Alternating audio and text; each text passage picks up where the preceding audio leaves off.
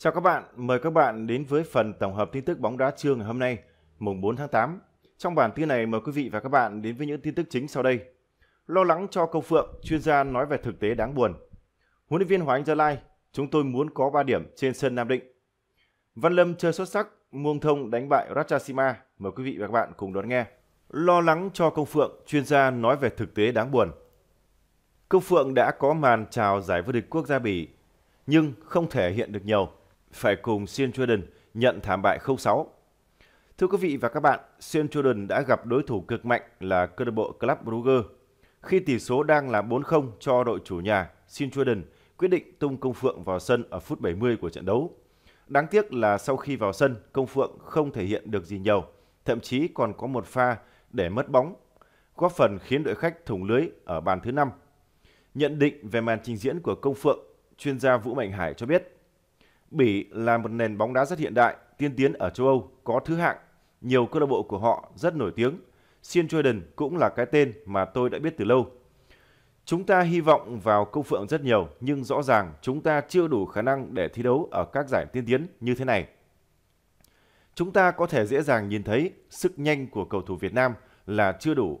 Mới chỉ xem một chút công phượng đá, chưa thể khẳng định được quá chắc chắn, nhưng chúng ta vốn thấp nhỏ thì cần nhanh nhẹn có kỹ năng chơi bóng tốt, nhưng cái này thì Công Phượng cũng yếu nên chưa để lại được dấu ấn gì cả.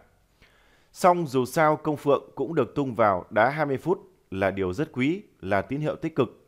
Vào sân là rất tích cực, là huấn luyện viên họ cũng có sự nhìn nhận, có chút cảm tình hoặc nghĩ Công Phượng có thể làm được gì đó. Việc đưa vào khi thua đậm như vậy có thể là do tinh thần của toàn đội Xuyên Jordan không được tốt, nên huấn luyện viên muốn một người có khao khát vào sân. Công Phượng rõ ràng rất khao khát, nỗ lực dù đa phần là chạy không thôi, chạm bóng cũng ít, chưa thể hiện được gì. Khi được hỏi liệu Công Phượng sẽ cần bao nhiêu lâu để thích nghi được với môi trường ở Sean Jordan, cựu danh thủ thể công tỏ ra bi quan. Nếu muốn thích nghi với câu lạc bộ này thì cần phải rất nỗ lực, cố gắng và sự ghi nhận của huấn luyện viên. Nhưng xem ra tình hình này, tôi nghĩ sẽ chẳng khác gì thời gian Công Phượng ở Hàn Quốc tôi rất lo cho tương lai của cậu ấy. Đá bóng mà suốt ngày ngồi dự bị thì không thể tiến bộ được, thích nghi với họ thì khó lắm. Mình vào sân phải làm được điều gì đáng kể thì sợ trận sau không có tên trong danh sách nữa. Tôi nghĩ là như thế này, rất khó để Công Phượng có thể đạt được trình độ ngang các cầu thủ của Siên Jordan. Chúng ta vừa thấp bé, nhẹ cân, tố chất cơ thể không tốt, lại sinh ra ở khu vực hạn chế về năng lực. Chúng ta chưa có một cầu thủ nào đủ tầm Công Phượng đã thuộc tầm tốt nhất nhưng vẫn chưa đủ. Nhìn vào thực tế quá đỗi khó khăn với Công Phượng, ông Hải tiếp tục. Tôi chỉ hy vọng mỗi trận Công Phượng được ra sân chút ít, 10 đến 15 phút cũng được. Được ra sân thì có thể duy trì được phong độ. Chứ cứ ngồi dự bị nhiều hơn là ra sân thì là lỗi lo lớn. Trình độ sẽ xa sút và ảnh hưởng đến đội tuyển quốc gia. Đá bóng thì cần thành tích, Sin Jordan đang có phong độ không tốt nên họ sẽ cần bổ sung những cầu thủ chất lượng. Những câu lạc bộ mạnh chơi tốt rồi thì mới rộng đường tạo điều kiện cho các cầu thủ trẻ, cầu thủ mới.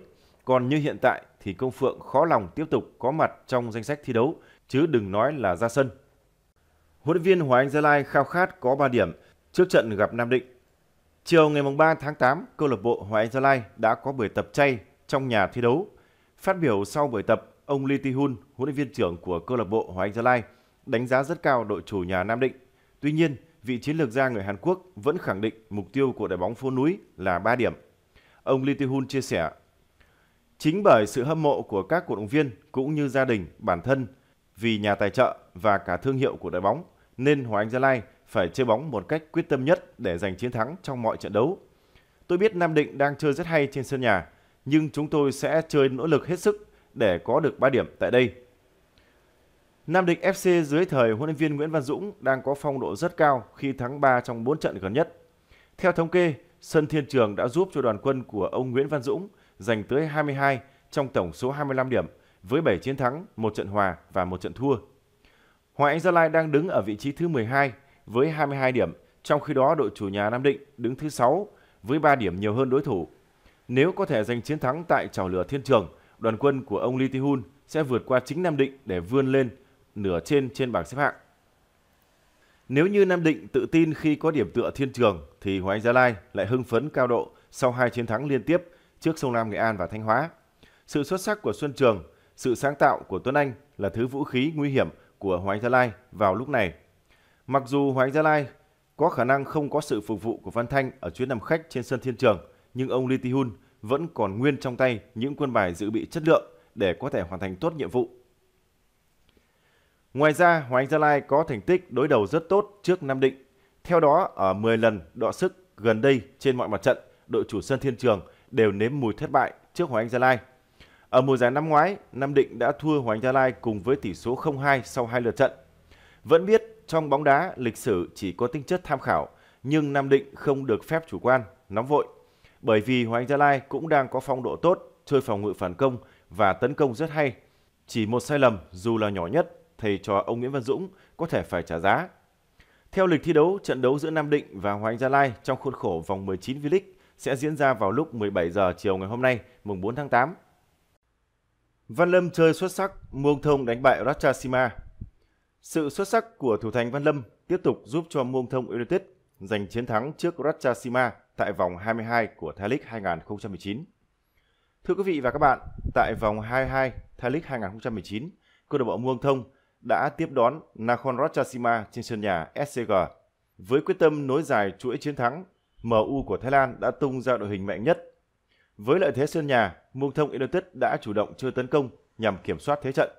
Lối chơi áp đảo của đội chủ sân SCG đã giúp cho các đồng đội của Văn Lâm liên tục gây sóng gió lên cầu môn đội khách. Điều được mong chờ nhất đã đến khi Herbetti đã ghi bàn mở tỷ số ở phút 40. Hiệp 1 kết thúc với lợi thế nghiêng về đội chủ nhà. Bước sang hiệp 2, Nakhon Ratchasima đã chủ động dâng cao đội hình nhằm tìm kiếm bàn gỡ. Tuy nhiên, các chân sút của đội khách đều tỏ ra bất lực trước tài năng của thủ môn đội tuyển Việt Nam Đặng Văn Lâm. Chưa tìm được bàn gỡ thì Nakhon Ratchasima đã phải nhận trái đắng khi Herbetti hoàn tất cú đúp và nâng tỷ số lên 2-0 ở phút 87. Đây cũng là tỷ số chung cuộc của trận đấu. Với chiến thắng này, đội bóng của Văn Lâm tiếp tục giữ vững vị trí thứ 6 trên bảng xếp hạng Thái League với 33 điểm. Tuyển Việt Nam từ khủng hoảng thừa đến nỗi lo người gác đền. Khủng hoảng thừa Khoảng 2 năm dẫn dắt bóng đá Việt Nam, có thể nói rằng vị trí người gác đền luôn là nơi mà huấn luyện viên Park Hang-seo yên tâm bậc nhất khi sở hữu hàng loạt gương mặt nổi trội từ kinh nghiệm, sức trẻ cho tới chuyên môn rất tốt. Chẳng nói đâu xa, ngay ở Kings Cup hồi tháng 6, khi huấn luyện viên Park Hang-seo đưa ra danh sách ba thủ thành sẽ đi Thái Lan cùng tuyển Việt Nam, nhiều người đã cho rằng đây sẽ là một cuộc chiến không khoan nhượng giữa Nguyên Mạnh và Đặng Văn Lâm, thậm chí Văn Toản còn rất trẻ cũng sẵn sàng ra sân. Ngoài ba thủ thành từng tham dự Kings Cup, trong tay chiến lược gia người Hàn Quốc còn có khá nhiều thủ môn khác như Tuấn Mạnh, Bùi Tiến Dũng nằm ở diện dự phòng. Chưa nói một vài thủ môn đang bắt tốt tại Philip cũng nằm trong tầm ngắm của ông Park để sẵn sàng triệu tập lên tuyển khi cần thiết. Và vì thừa thải như thế nên việc thủ thành Việt Kiều Philip Nguyễn nhập tịch có cảm giác khá thừa thải. Đến nỗi lo người gác đền, Niềm vui sự yên tâm của huấn luyện viên Park Hang-seo chẳng kéo dài được quá lâu khi đến lúc này vị trí người gác đền lại đang khiến ông và trợ lý thủ môn Nguyễn Đức Cảnh lo lắng thực sự. Bởi ngoại trừ Phân Lâm vẫn ổn thì phần còn lại không thực sự tốt. Trở về từ Kings Cup, người được cho rằng sẽ đánh đổ vị trí của Bùi Tiến Dũng ở U23 hay đội tuyển trong tương lai là Văn Toản đã xuống phong độ một cách rõ rệt để sau vài vòng đấu chơi không tốt đã mất luôn vị trí vào tay Phan Đình Vũ Hải. Không đến mức xuống dốc như đàn em, tuy nhiên phong độ của cả đội đi xuống cũng khiến Nguyên Mạnh không còn giữ được màn trình diễn chói sáng như hồi đầu mùa giải. Và tương tự như thế là Tuấn Mạnh ở câu lạc bộ Khánh Hòa. Các thủ thành kỳ cựu vì lý do toàn đội chơi kém dẫn tới phong độ đi xuống đã đáng lo. Đằng này ông Bác còn phải chứng kiến cảnh những thủ thành tiềm năng như Bùi Tiến Dũng, Văn Toản, rồi Văn Biểu không được ra sân thường xuyên khiến nỗi lo càng lớn hơn. Khó có thể yên tâm bởi khi nhiều thủ thành từng lên tuyển xuống phong độ, ông Bác cũng không dễ gọi nhiều cái tên chơi tốt ở Philip như là Thanh Thắng, Văn Công lên tuyển vì lý do thể hình. Cùng lúc Philip Nguyễn nhiều khả năng chưa thể hoàn tất thủ tục nhập tịch để khoác áo tuyển Việt Nam. Nếu dựa trên phong độ, vào lúc này chỉ mỗi đặng văn lâm là đảm bảo nhưng như thế là quá ít, cũng như vô cùng mạo hiểm bởi vòng loại World Cup 2022 đang đến rất gần, đồng thời không dễ chơi như AFF Cup chẳng hạn. Chỉ hy vọng rằng nỗi lo này sẽ sớm được giải quyết trong khoảng một tháng tới đây khi tuyển Việt Nam tập trung vào đấu với Thái Lan vào ngày 5 tháng 9. Còn bằng không xem ra thực sự lo cho ông Park lẫn tuyển Việt Nam chứ không đùa. Cảm ơn quý vị và các bạn đã quan tâm lắng nghe bản tin này của chúng tôi. Đừng quên đăng ký kênh và bật thông báo để đón nghe những tin tức bóng đá mới nhất. Xin chào và hẹn gặp lại quý vị và các bạn.